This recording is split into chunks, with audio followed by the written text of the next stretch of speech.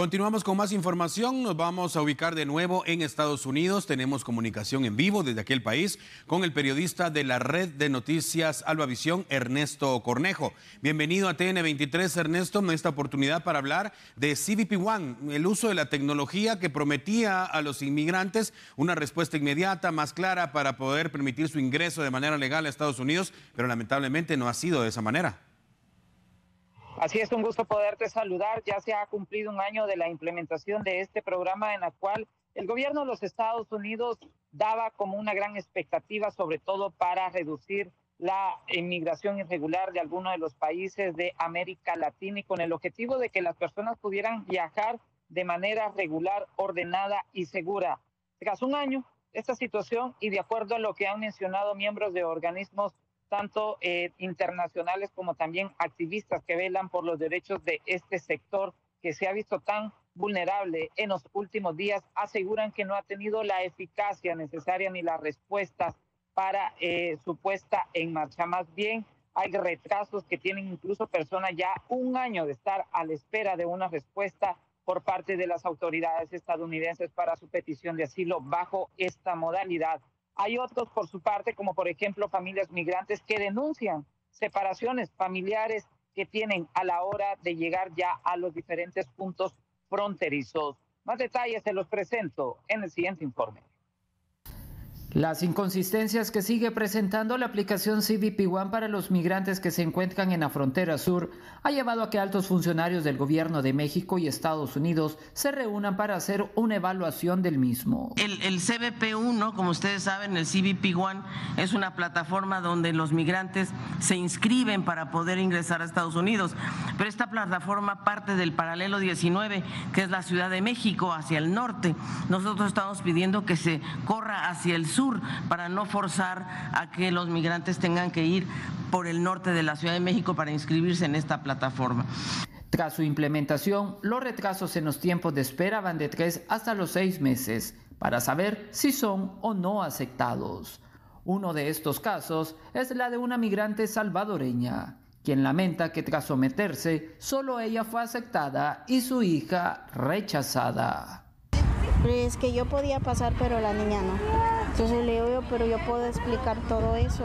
Yo la puse en el llenado, o quizás cometí un error o no supe llenarla bien, porque ella no, no, en la cita no aparecía. Le digo que puedo hacer o algo que me dieran, pues qué hacer.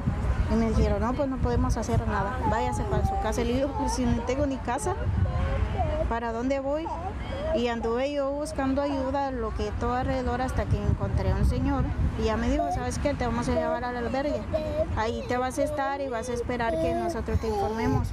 Que supuestamente me iban a ayudar, pero hasta que ahora me dijeron, no, ya no, no podemos hacer nada.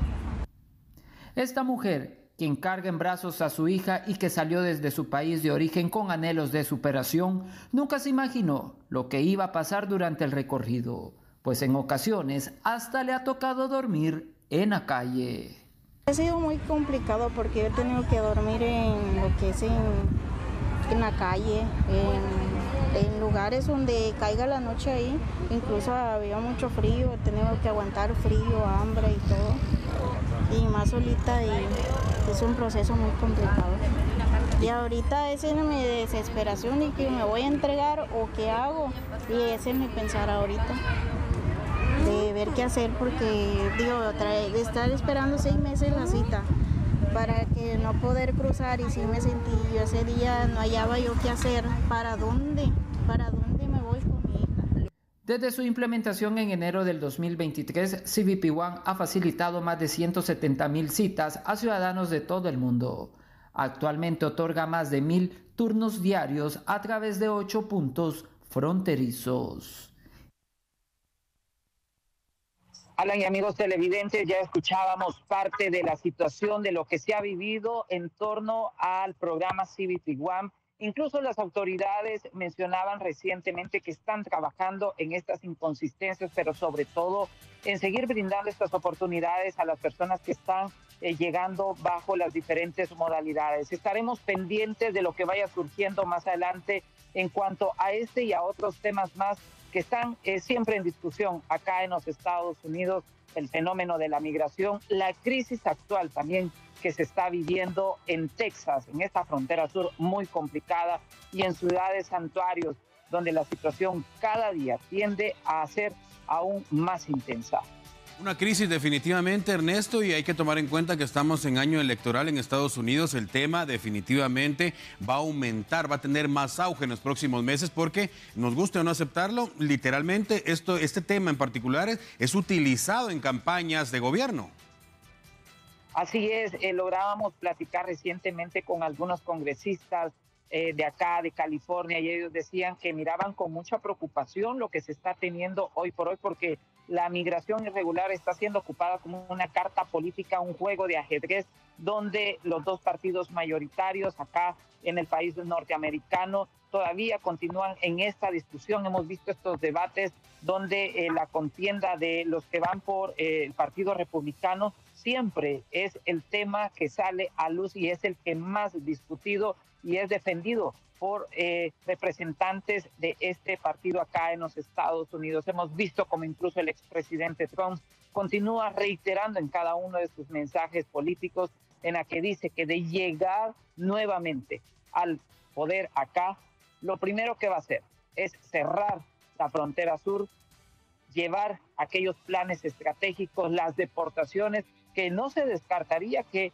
lo llevarían también a cumplir esta palabra, pero sobre todo es ahí donde salen al paso eh, las autoridades del Partido Demócrata, donde dicen es inhumano lo que se está haciendo, pero también son muy cuestionados por el poco avance que se ha dado en las políticas migratorias a lo largo de todos estos años y ya a meses de concluir eh, la actual gestión aseguran algunos que están amparados a los diferentes programas. La poca respuesta que se ha tenido es una situación muy complicada, Alan y amigos televidentes. En los próximos días se va a venir discutiendo aún más porque se intensifica esta situación de esta campaña electoral acá en el país norteamericano y se lo vamos a estar llevando desde los diferentes ángulos, las diferentes aristas y aquellos que juegan el papel importante que son las familias migrantes que se encuentran tanto en la frontera sur como acá también en el país. Por supuesto, nosotros también estamos muy atentos acá desde Guatemala siempre a lo que está ocurriendo respecto del tema de la inmigración en Estados Unidos. Ernesto Cornejo en vivo desde aquel país para TN23.